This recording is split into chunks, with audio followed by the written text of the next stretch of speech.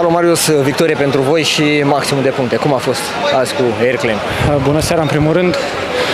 Puh, Un meci greu, echipă bună, jucători cunoscuți, care știu fotbal, dar s-a văzut omogenitatea grupului la noi, jucând de foarte mult timp împreună și asta se vede.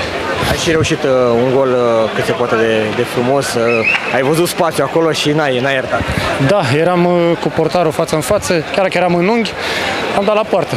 Asta e la, fot, la mini-fotbal, dai la poartă, orice deviere poate să fie gol. 9 puncte pentru voi, ați egalat pe cei de la Oțelul și la Maria și Ion. Cum se anunță sau cum vezi sezonul ăsta? Ai văzut uh, pe cei de la Oțelul, pe cei de la, la Maria? Da, uh, un sezon va fi un sezon mult mai greu decât precedentele două.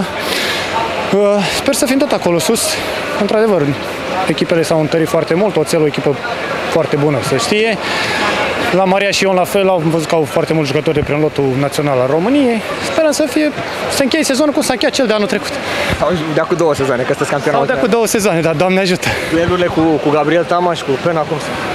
Ah, dueluri grele, puternici, știu să, când să bage corpul, știu când să împingă, când să tragă, dar una peste alta am câștigat, asta e cel mai important. Ai și fost lovit de câteva ori, n-ai, n-ai, n-a fost uh, iertat azi.